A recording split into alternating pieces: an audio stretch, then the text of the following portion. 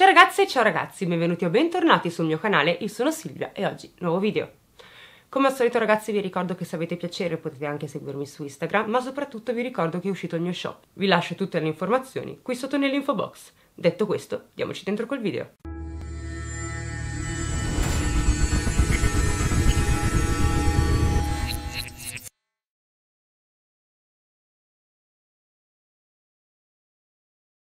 Oggi sono qui per parlarvi di un serial che molti di voi eh, mi hanno chiesto a lungo in questi mesi. Cerco come al solito di accontentare le vostre richieste, ecco perché oggi parliamo di Jack Unterweger, detto anche lo strangolatore di Vienna. Ha colpito 11 vittime accertate, mentre due sono solo sospettate. Ma prima di addentrarci nei tremendi crimini compiuti da Jack, come al solito facciamo un passo indietro. Nasce il 16 agosto del 1950 a Judenburg, in Austria, a poche decine di chilometri da Gretz. È il figlio legittimo di un soldato americano e di una truffatrice prostituta austriaca di nome Teresa, la sorella di sua madre, anch'essa prostituta, viene uccisa dal suo ultimo cliente. Questo evento turba Jack in modo molto profondo. Non conosce mai il padre e viene abbandonato da sua madre. Il ragazzo cresce in povertà, a contatto con suo nonno, Ferdinand Visa, un uomo molto violento e alcolizzato, in una baita formata da una sola stanza. Il nonno insegna Jack a rubare degli animali dalle fattorie della zona. Diciamo che non è proprio un modello da seguire. Jack aspetta il ritorno di sua madre per anni e la donna torna anche qualche volta. Per esattezza, Jack la vede solo quando ha dieci anni. Scopre che faccia abbia sua madre solo in quel momento. La donna dunque si reca in quella baita solo una volta, ma per prendere qualcosa e mai qualcuno. Non prende mai Jack con sé. Il nonno alla fine lo mette in un orfanatrofio dove Jack non si trova affatto bene, non riesce a stringere amicizia con nessun bambino, si sente in prigione. Fortunatamente viene adottato, ma anche i suoi genitori adottivi non sono un granché. Non pensano molto a Jack, lo lasciano libero di fare quello che gli va fin da piccolo. Dunque Jack cresce tra protettori e prostitute. All'età di soli 9 anni inizia a saltare la scuola e quindi impara a leggere e a scrivere solo in età adulta. Alle soglie dell'adolescenza è solito frequentare sempre di più gli ambienti delle prostitute e dei protettori, diventando prima un teppista e poi, verso i vent'anni, un pappone. Ma tratta sempre bene le ragazze che lavorano per lui, memore di quella zia massacrata dal suo ultimo cliente. Nel 1966 Jack viene condannato a una pena detentiva correzionale di tre giorni per furto. Viene mandato per un anno all'Istituto federale dei bisognosi di Kaiser Iberthof Dopo il rilascio, Jack lavora come cameriere e durante questo periodo commette parecchi furti, con scasso e defrazioni. Inoltre viene notato per alcuni abusi intimi a prostitute locali e per sfruttamento alla prostituzione e magicamente la zia di Jack quella uccisa dal suo ultimo cliente, diventa un'incognita. La domanda che dovremmo porci è: questa zia è mai esistita? Tra il 1968 e il 1973 viene arrestato ben 16 volte. Nel maggio del 1974 Jack afferma di aver tentato il suicidio usando delle sostanze. Viene internato in un reparto psichiatrico per nove giorni. Il 31 marzo del 1973 Marika Hovat a Salisburgo esce di casa verso le 18 per recarsi in città. Il giorno dopo il suo corpo viene rinvenuto a pelo d'acqua nel lago Salzaha, vestita solo dalla cintola in su e completamente nuda per il resto del corpo ha i polsi legati dietro la schiena da una cravatta, le gambe invece sono state annodate insieme alle caviglie con i suoi stessi collant. La bocca è coperta da del nastro adesivo. Non ha alcun segno di violenza carnale. L'assassino l'ha presa a pugni sul viso e poi l'ha buttata nel lago. La ragazza infatti è morta annegata e i suoi vestiti vengono rinvenuti lungo la riva. Ad indagare sul caso l'ispettore August Schenner, che purtroppo non ha nulla in mano, nessuna pista, almeno per il momento. Il 12 dicembre del 1974 Jack è in visita da un amico, in Assia, più precisamente in Germania, quando i due incontrano per caso Margaret Schäfer, che sta tornando a casa da una festa di Natale. L'accompagnano a casa, poi la manettano in camera, le rubano tutti i soldi e scappano, sia con i soldi che con lei. La portano fuori Eversbach, in una zona boscosa. Il suo amico resta in macchina mentre Jack la trascina in mezzo agli alberi, impugnando impugnando un'asta d'acciaio. Colpisce la ragazza più volte, al collo e alla testa. Poi la strangola con il suo reggiseno. Il primo giugno del 1976 Jack viene condannato all'ergastolo presso il tribunale regionale di Salisburgo per aver ucciso Margaret Schäfer. Il tribunale di Salisburgo incarica il dottor Klaus Jarosch di eseguire una perizia su Jack. Secondo il medico l'imputato è emozionalmente impoverito, non ha sensibilità, soffre di improvvisi attacchi di collera, è estremamente aggressivo e ha forti perversioni intime di carattere sadico. L'uomo non nega l'omicidio, ma si giustifica dicendo ho immaginato di avere davanti mia madre e quindi l'ho uccisa, non sapevo cosa stavo facendo. C'è da sottolineare che in Austria, per ergastolo, si intende un periodo di 25 anni di detenzione continui, con la possibilità di essere rilasciati sulla parola dopo 15 anni. Già nell'aprile del 1973 Jack è sospettato dell'omicidio di Marika Horvat, trovata a Salisburgo. Nonostante ciò, questo crimine non viene mai dimostrato e l'indagine viene interrotta a seguito della condanna. Per anni Jack esclama a chiunque gli ricordasse la sua prima vittima magari potessi tornare indietro per fermarmi in tempo e non fare ciò che ho fatto. Questo primo omicidio, che primo non è, per Jack rappresenta una catarsi, poiché capisce che proprio in quella rabbia c'è il desiderio e l'amore del bambino nascosto dentro di lui, che ancora cerca la propria madre, che di base non c'è mai stata. L'ispettore August Schenner nota uno schema comune, ma non riesce a dimostrare che Jack fosse a Salisburgo la notte in cui Marika Horvat era stata uccisa. Nel 1973, otto anni dopo, un ubriacone arrestato dalla polizia dichiara di sapere molte cose sull'omicidio di Marika Horvat, perché ad ucciderla è stato l'allora fidanzato di sua figlia, ovvero un certo Jack, un Tarvega. L'uomo muore di infarto prima che l'ispettore possa interrogarlo, tuttavia l'investigatore riesce a rintracciare la figlia e proprio grazie a lei può dimostrare che Jack era proprio a Salisburgo la sera in cui Marika Horvat viene uccisa. Per la precisione, Jack alloggia in un albergo a 3 km da dove viene ritrovato il corpo. Jack, già in prigione, ammette che è vero lui in quel periodo si trovava a Salisburgo in effetti, ma nega decisamente che fosse lui responsabile dell'omicidio. Una volta in prigione, Jack diventa un detenuto modello per passare il tempo, legge tantissimo, dai romanzi alle opere teatrali. Si rende conto ad un certo punto che anche lui ha delle storie da raccontare, quindi inizia a scrivere. In carcere tutti si rendono conto che Jack si sta trasformando in un'altra persona e, da questo esatto momento, Jack inizia a scrivere delle raccolte di poesie, delle raccolte di racconti oltre a numerose favole della buonanotte. Inoltre Jack tiene un diario in cui scrive tutto quello che gli è accaduto prima dell'omicidio. Scrive della sua adolescenza, della sua famiglia, delle donne che aveva avuto e dei propri sentimenti. Questo diario in seguito diventa un libro che guadagna in pochissimo tempo un enorme successo intitolato Il Purgatorio o Il viaggio in prigione. Intanto Jack inizia a vivere un periodo buio, scrive basta, non dà retta a nessuno, fino a tentare il suicidio in carcere. Nel 1987 il regista Willy Engelster trae da questa biografia il film Il Purgatorio e alla lavorazione del film partecipa anche Jack direttamente dalla prigione. Tale successo gli fa conquistare il rispetto e la stima della comunità letteraria austriaca. I più grandi scrittori firmano una petizione chiedendo il rilascio sulla parola per l'uomo. Le firme a quella petizione sono tantissime, quindi nel maggio del 1990 il giudice accetta di rilasciare Jack con un'unica condizione. Non dovrà più commettere reati di nessun tipo. Appena fuori dal carcere, Jack riceve dallo Stato un ricco sussidio al fine di poter proseguire la sua carriera. Viene invitato a vari talk show televisivi. In quelle trasmissioni Jack risulta carismatico, affascinante ed esuberante. Parla del suo libro e si presenta come un modello di riabilitazione carceraria. Così Jack diventa una star, ammirata dai letterati e amatissima dalle donne. A questo punto l'uomo diventa un giornalista.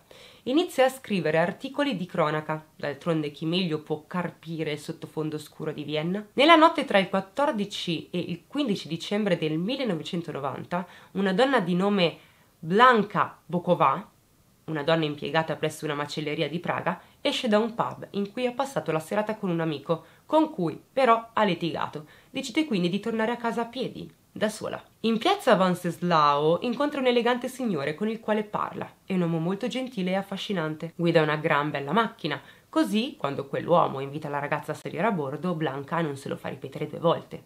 Non ha affatto voglia di tornare a casa a piedi da sola, al freddo. Jack guida la macchina fino ad arrivare in un posto appartato.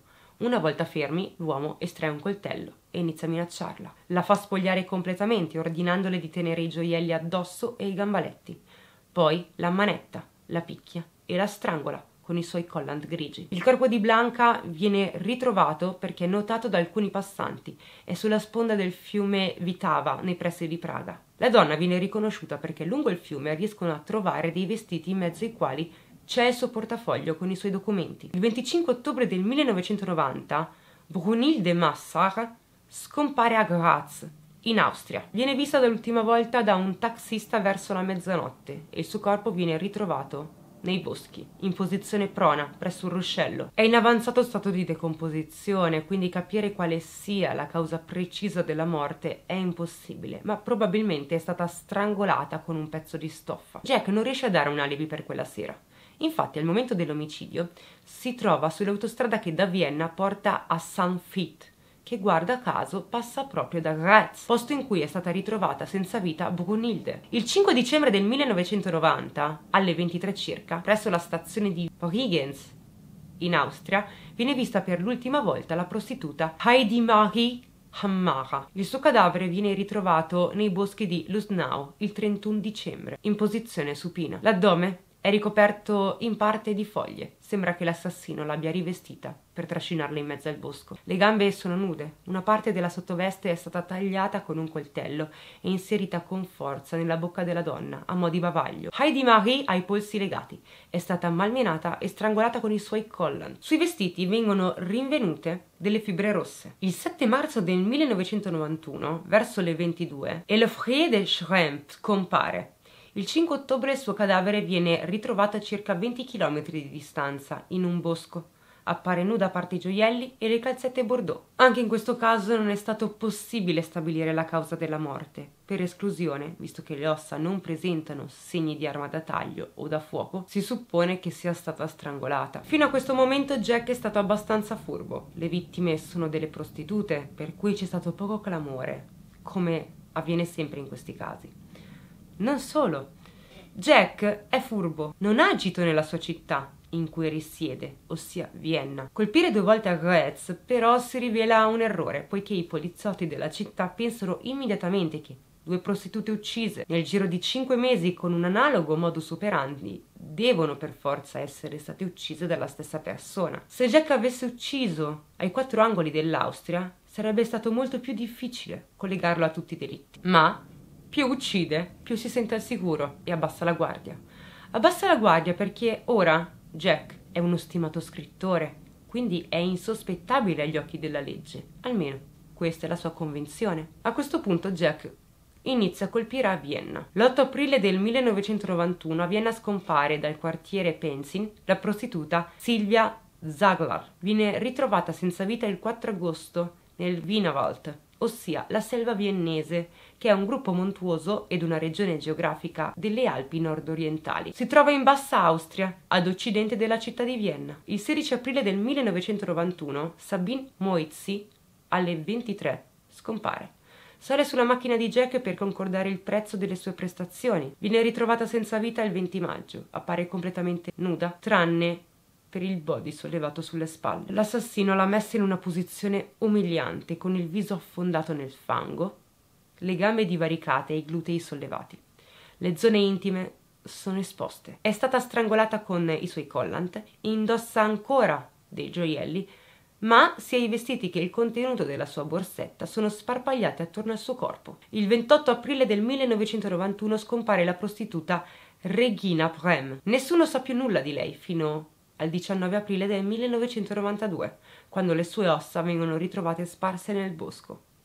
L'unico indumento ritrovato è una calza ancora attaccata al femore. Il suo cadavere viene ritrovato nel Vignavald, nel comune austriaco del distretto di Modling, il 23 maggio, in posizione prona. È stata violentemente percossa sul viso e poi strangolata con il suo body viene ritrovata nuda ma con addosso i suoi gioielli. Nonostante tutti gli omicidi portassero realmente la stessa identica firma, ossia vittima strangolata con i propri indumenti intimi, denudata e con i gioielli lasciati addosso. La polizia, incredibilmente, non collega i delitti. Ai tempi, in Austria, le modalità di indagini della polizia non sono ancora aggiornati, non sono pronti per avere a che fare con un serial. L'escalation indica che Jack a Vienna si sente più al sicuro. Però quattro omicidi in un mese richiamano subito l'attenzione della polizia, ma soprattutto dei media. Lo stesso Jack si occupa degli omicidi. Il 22 maggio del 1991 esce il suo primo articolo sulla scomparsa delle prostitute. Fino a quel momento l'unico corpo rinvenuto è quello di Sabine Moizzi. Il giorno dopo però viene scoperto anche il corpo di Silvia Zanglar. L'eco di queste notizie arriva fino a Salisburgo, dove abita l'ispettore August Schenner. Ormai è in pensione, però è lui a segnalare Jack Unterweger come probabile assassino alla centrale di Vienna il 31 maggio. Schenner non ha dubbi che l'autore di questi omicidi sia proprio Jack. Il corpo di Sabine Moizzi ricorda gli omicidi commessi negli anni 70 proprio da Jack, visto che secondo l'ispettore Jack è colpevole di due omicidi e non di uno solo. Intanto Jack continua il suo lavoro e va anche ad intervistare il capo della polizia che sta indagando sugli omicidi.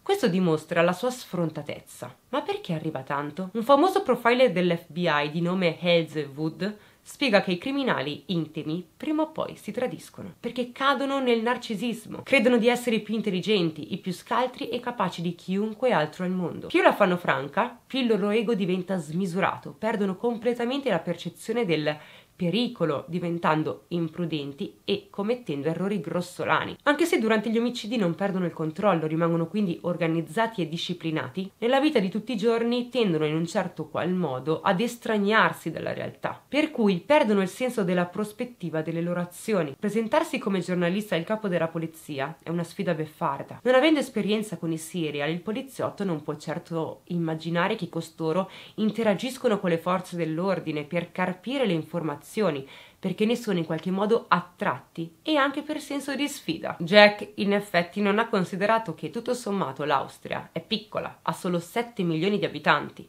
La prostituzione peraltro è legalizzata, per cui sono pochi gli omicidi commessi ai danni di prostitute. Si pensa che una persona più intelligente sia quella che farà più carriera, giusto? L'intelligenza è tutto nella vita. Non è sempre così, perché c'è anche il quoziente emozionale da considerare, ovvero la capacità di comprendere gli altri. I serial organizzati hanno un grande quoziente intellettivo, ma uno scarso, quasi nullo quoziente emozionale. Ecco perché hanno una grande stima di sé e una scarsa considerazione degli altri. Ecco perché commettono errori, sottovalutano e sottostimano l'avversario in questo caso Jack si sente ormai al di sopra di ogni sospetto. Però di precedenti penali ne è come, sia per omicidio che per aggressioni multiple. August Schenner a parte, per i suoi precedenti, Jack avrebbe dovuto comunque rientrare nella lista dei sospettati. Tuttavia gli appoggi politici di cui gode, e la fama di letterato lo rendono intoccabile. Inoltre è il simbolo del detenuto redento. In ogni caso il suo atteggiamento convince una testata giornalistica ad assumerlo con il compito di far luce su uno degli omicidi che lui stesso aveva commesso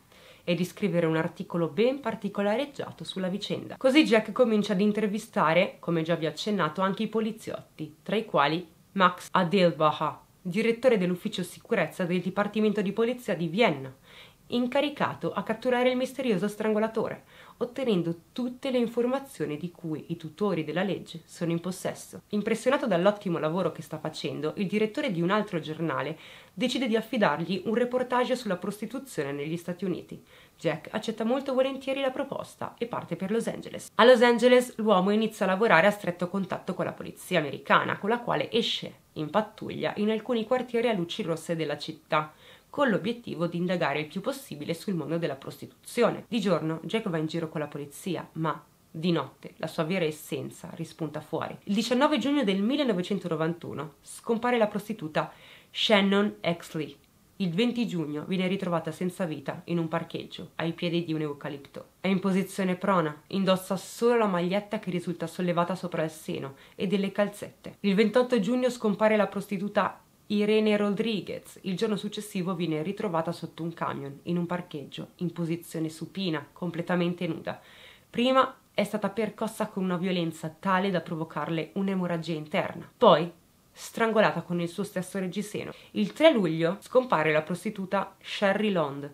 Viene ritrovata l'11 luglio sulle colline di Malibu con la maglietta sollevata oltre il seno, completamente svestita. È stata percossa con violenza e poi strangolata col suo stesso reggiseno. Durante tutto questo periodo Jack soggiorna in un hotel particolare, famoso per essere stato teatro di numerosi crimini, suicidi ed omicidi, ossia il Cecil Hotel. Nel frattempo Jack riesce anche ad essere un rubacuori, in quanto conosce in una discoteca Bianca Mark. A 18 anni da pochi giorni ed è seduta al bancone a bere del gin tonic, quando improvvisamente nota un uomo che le sorride e porge il bicchiere a mo' di brindisi dall'altra parte del bancone. Jack brinda ogni volta che Bianca si gira verso di lui guardandola negli occhi. La cosa la ragazza un po' dà sui nervi, ma d'altra parte si sente un po' lusingata. Jack a questo punto fa il primo passo e invita Bianca a sedersi vicino a lui. La ragazza rifiuta per un paio di volte, poi però alla fine cede. Bianca è una semplice studentessa che si innamora follemente di lui e ben presto inizia una nuova vita in cui solo Jack è importante. Infatti Bianca per amor suo rompe tutti i rapporti con i suoi amici e con la sua famiglia, abbandona la scuola e inizia a lavorare in un nightclub per uh, riuscire a raccimolare soldi. Sin dal terzo omicidio gli investigatori americani si rendono conto di avere a che fare con un serial a notarlo per primo è Jim Harper, il detective della polizia statunitense che si occupa degli omicidi commessi in California. Jim inizia a notare delle strane analogie, tra queste c'è il nodo fatto per strangolare le vittime. Chiede aiuto a Lynn Harold, che lavora al laboratorio criminale di Los Angeles. L'uomo analizza i nodi e scopre che sono tutti eseguiti dalla stessa persona. Sicuramente hanno a che fare con una mano esperta. A questo punto, come già vi ho detto, diviene chiaro che hanno a che fare con un serial. Tracciano così il profilo dell'assassino. È uno psicopatico organizzato che sceglie le sue vittime con molta cura.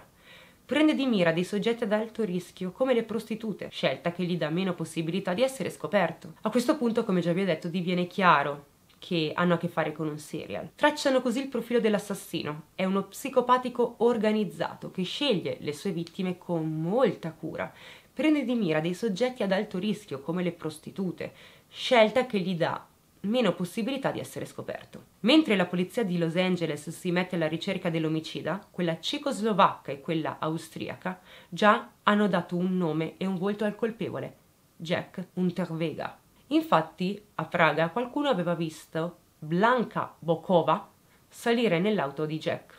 Inoltre quest'ultimo è stato visto più volte con delle ragazze che poi sono state ritrovate senza vita. I poliziotti cecoslovacchi chiedono a quelli austriaci di perquisire la macchina che solitamente guidava Jack, una Mercedes, e proprio in quella macchina trovano un cappello che apparteneva a Blanca. Le scoperte però non finiscono qui.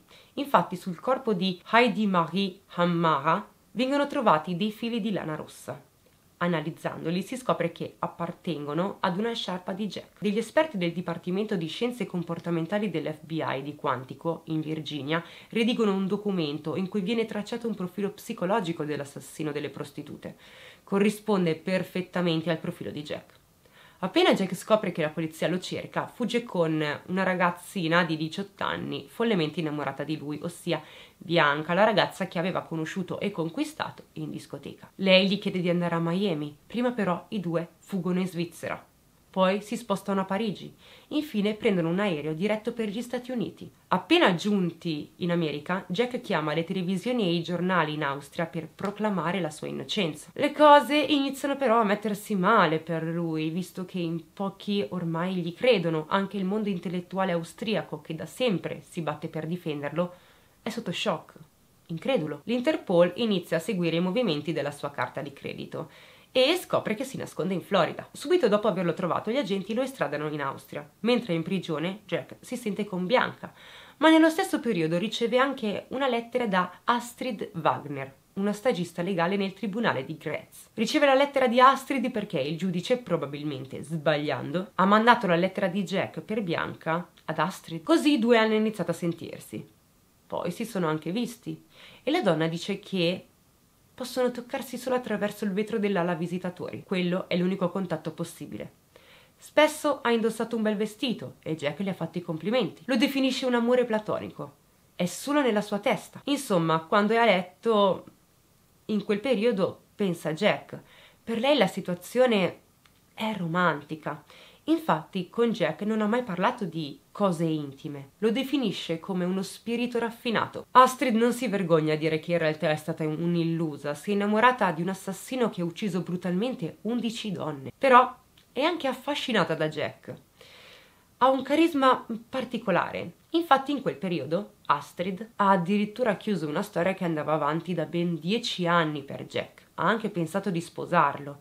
Un amico in comune ha consigliato di farlo, in modo che la giuria potesse dargli una pena meno severa. La madre di Astrid è andata addirittura a trovarlo in carcere per conoscerlo. Poi però arriva il processo contro Jack, che si svolge nel tribunale di Graz, dove tre consulenti del Centro Nazionale dell'Analisi del Crimine Violento lo definiscono uno psicopatico organizzato. L'uomo sceglieva le vittime con cura, premeditando gli omicidi, non le mutilava e non portava via con sé nessun souvenir, cosa che molti serial fanno. Jack le sue vittime le conduceva sul luogo del delitto con la propria macchina, le uccideva tutte nello stesso modo, cercando poi di nascondere il corpo non solo a chi l'avrebbe dovuto trovare, ma forse anche a se stesso. L'arma usata era la loro biancheria intima e il nodo che faceva era sempre uguale in tutti i casi tanto da poter essere considerato la sua firma. Lo definiscono come un assassino che uccide per libidine, emozione che può essere trasmessa non solo da un atto intimo, ma anche dal semplice atto di uccidere o dal fatto di avere il controllo totale sulla vittima. Messo davanti a queste accuse, Jack nega di essere la persona che descrivono e cercano. In tribunale dice: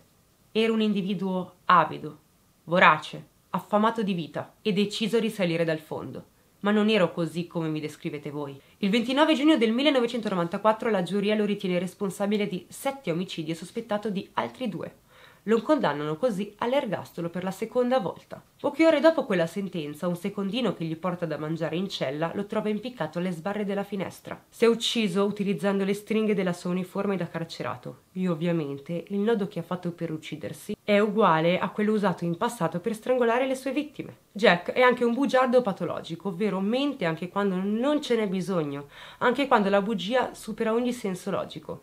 Ad esempio dice a Shenner che sono stati proprio i genitori di Margaret a pagare i suoi studi, cosa non vera. Jack descrive Margaret come una sua conoscenza, altra sputerata menzogna. Margaret non conosce quell'uomo. Altra enorme menzogna, la zia prostituta uccisa dal suo cliente, non è mai esistita. Anna non era una prostituta e soprattutto non era sorella di sua madre, non era proprio una sua parente, ma una perfetta sconosciuta. Jack ha letto il suo delitto sul giornale e ci ha fantasticato sopra. Altra menzogna bella e buona, Jack dice che sua madre era una prostituta. Non lo era affatto. Sarebbe bastato fare una verifica su questi elementi che chiunque avrebbe potuto eseguire per rendersi conto che quell'uomo era un mentitore nato e non meritava nessuna libertà anticipata. La storia di Jack quindi ci porta ad una conclusione. Non è compito dei politici, ma soprattutto non è compito degli scrittori decidere se un detenuto si è redento in qualche modo. Ci sono degli specialisti appositi e degli psichiatri con specializzazione nel campo criminologico che devono periziare il detenuto nessun altro. Detto questo ragazzi io ho finito di parlare in questo video, spero ovviamente che questo video possa essere stato di vostro interesse, fatemi sapere se conoscevate la storia di questo serial, ma soprattutto fatemi sapere che cosa ne pensate di questo serial. Detto questo ragazzi io vi mando un bacione, noi ci vediamo prestissimo al prossimo video, mi raccomando fate i bravi, continuate a mangiare le verdure che fanno bene, ma soprattutto fate ciò che vi rende felici e prendetevi cura di voi. Ciao ragazze, ciao ragazzi.